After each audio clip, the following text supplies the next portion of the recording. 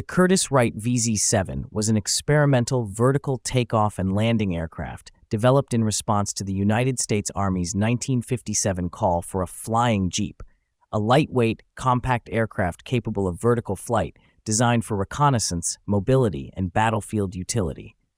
The project was awarded to Curtiss Wright's Santa Barbara Division, formerly known as the Aerophysics Development Corporation. Two prototypes with serial numbers 585508 and 585509 were built and delivered to the Army in mid 1958. The VZ 7 featured a minimalist, highly functional design. It had a rectangular fuselage housing a single 425 horsepower Turbomeca Artouste 2B turboshaft engine, pilot seat, flight controls, and fuel and lubricant tanks. Four vertically mounted propellers with variable pitch were located at the aircraft's corners. Originally equipped with ducted fan shrouds to enhance lift and safety, these were later removed to reduce weight and potentially improve aerodynamic efficiency. Control was achieved by adjusting the thrust of individual propellers for directional movement, while yaw was managed using vanes in the engine's exhaust.